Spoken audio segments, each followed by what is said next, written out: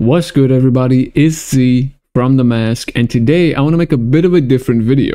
Today we are going to cover how you can create your own trading bots using TradeLocker and their programming AI in order to fully automate your own trading strategies. Regardless of what your system might be, you can tell the computer to make a strategy using that system and if you explain it to the AI well enough, you'll have a fully automized trading robot that will do all of the work for you as long as the app is running in the background.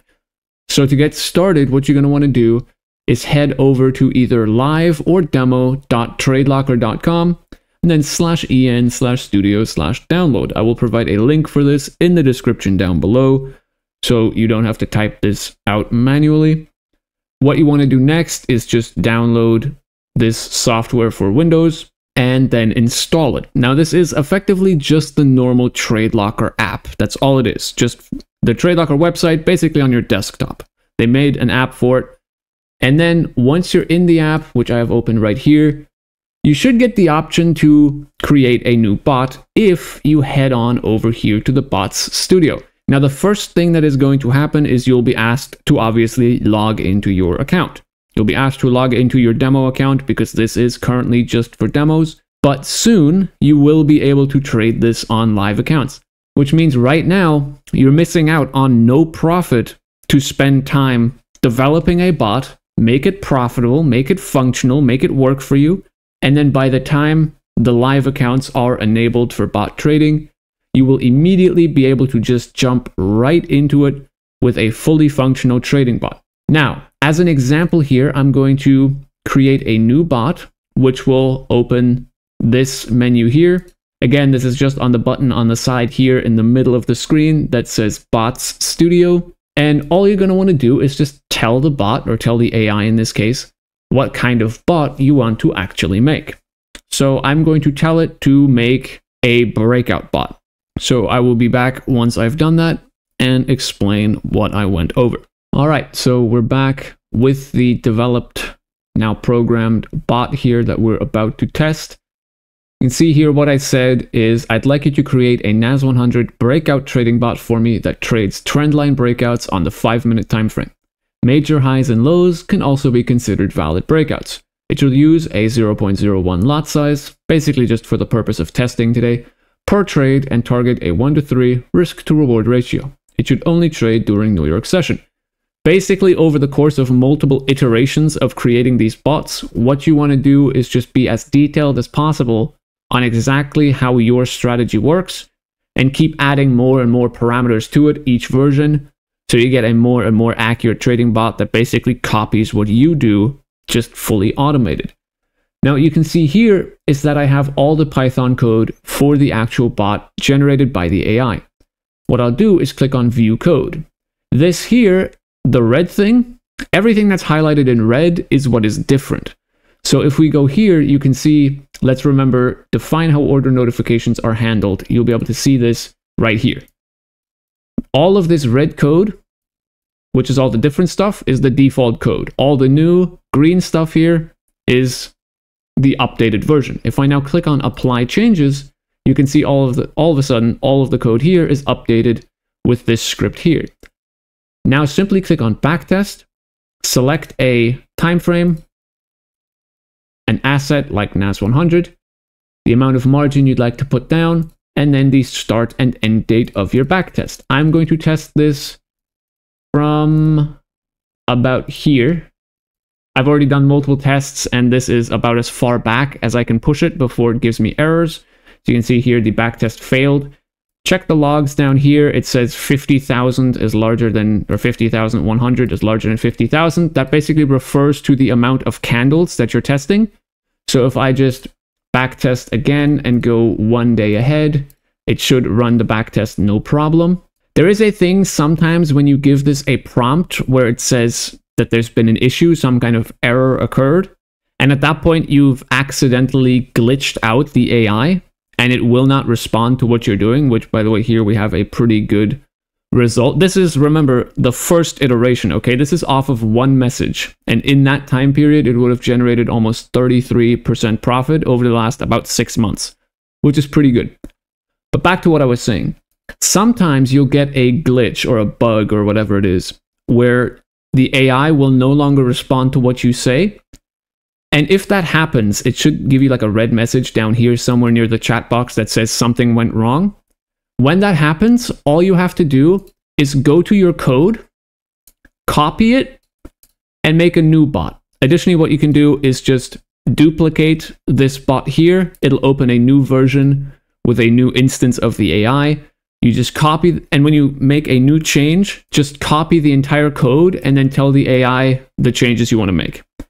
So what I would do in this instance if I run into this problem is I would copy all of this code, go to Control C, then simply duplicate this bot.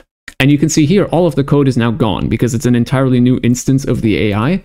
So all I would do is paste my code in here, give it a couple lines of space, and then say, allow it to trade during London. It would basically get all the context from this code and then make the change that you want to make, regardless of the issue that you just ran into.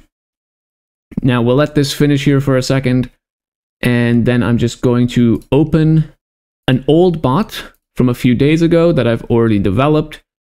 I'm going to backtest this one. This is basically just a more developed, more fleshed out version of the bot that I just made that I've been working on over the last few days. And we'll go ahead and run this one and see what this one produces. Now you can see the backtest data, the different versions and everything that I've went through here with the different results. You can pull this out to see more detailed versions, but I just need the ROI and max drawdown.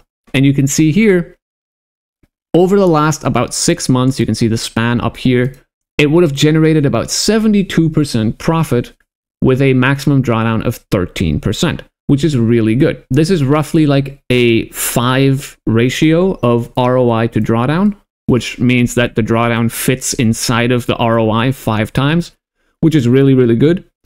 Anything above 1.5 to 2, anything above that, is usually a very good, very functional, and safe bot that you can make a decent bit of money with. Now, like I said, this bot is something I've been working on for a little while. The code isn't super complicated, obviously, there's not that much to it because it is still just a breakout bot.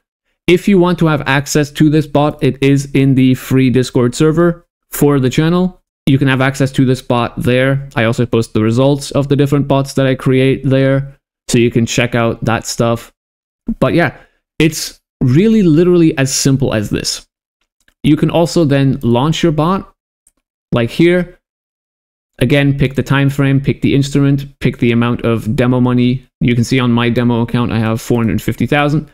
So on this one here, you could just pick the amount you want, launch the bot, and then you'll apply it to the live charts here, and it'll show you all of the data on the side.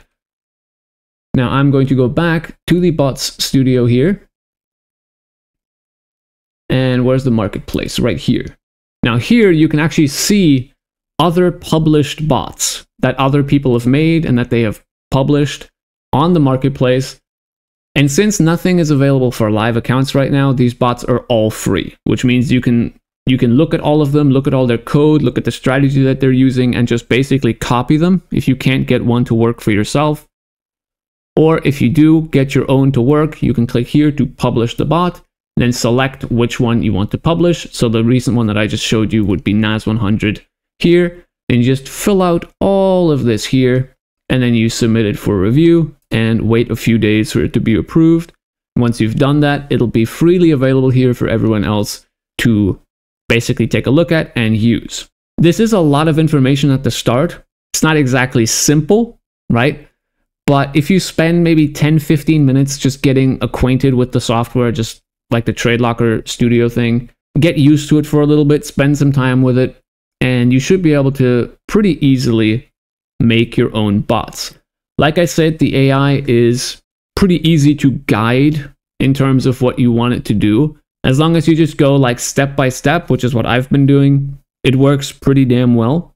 And what I mean by step by step is if I want to have, let's say, a bot that's currently making a couple mistakes, I wouldn't want to fix all those mistakes at once. I'd want to like change one thing, maybe change the, the lot size and then update the version, backtest again, then change the asset, backtest again, then change the time frame, backtest again. I don't think you actually have to specify the time frame that you want to trade on. I still do it every time just in case because when you're backtesting and when you're selecting the bot to run it on the markets, you do select the time frame it runs on, so you don't have to specify it with the bots. Though I do it every time anyway, just in case it might make a difference. But this is a really useful tool, especially now when it's still prior to release on the live accounts, because you'll have probably at least another few weeks to just develop and perfect your trading bot to immediately make use of it once it actually comes out for the live accounts. But aside from that, that's about all I have for you in this video, and I'll see you in the next one.